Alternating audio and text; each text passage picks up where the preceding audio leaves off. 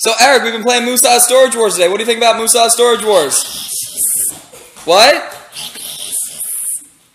Yeah, but do you like the game? Okay, but like, what about the Moo Sa Storage Wars? It's fun, right?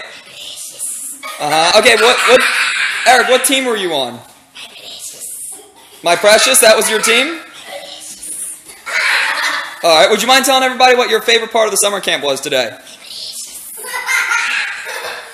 Right. Eric, what is your name? Uh-huh. Uh, do you do, do you do karate? Okay, are you just saying my precious? All right, everybody, that was Eric. Give Eric a hand.